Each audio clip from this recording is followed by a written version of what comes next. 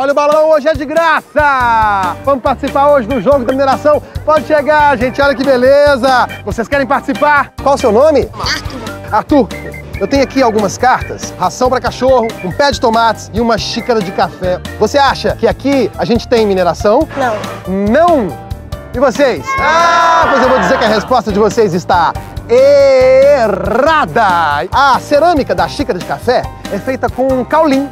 É um minério composto de silicatos hidratados de alumínio, assim como a caulinita e a aloisita. Ele também está presente na fabricação de papel e tintas. Os fertilizantes utilizados nas grandes plantações de tomate e outros produtos agrícolas têm como base o NPK, que é o nitrogênio, o fósforo e o potássio. O potássio é extraído da silvita. E aqui, ó, na ração para cachorro, o manganês, que é extraído da pirolosita. Ele é importante para a saúde dos ossos e das cartilagens.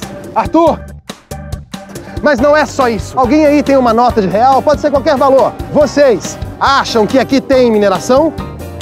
Aqui tem muita mineração, isso mesmo. Toda nota de real é tingida com cerca de 17 tintas diferentes. E a mais importante delas é magnetizada com o dióxido de ferro, que é extraído do minério de ferro. Isso é importante para que os bancos saibam quais são as notas falsas e quais são as notas verdadeiras. Muito obrigado. Agora a gente vai para a parte mais animada do nosso jogo, a roleta!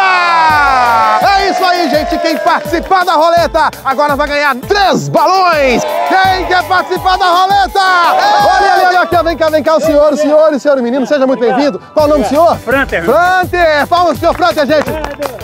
Senhor Franter, pode girar a nossa roleta. Vamos torcer, filho. Olha lá, olha lá, olha lá! Olha lá o pneu! Pneu, gente! E aí? Pneu tem ou não tem minério? Tem não.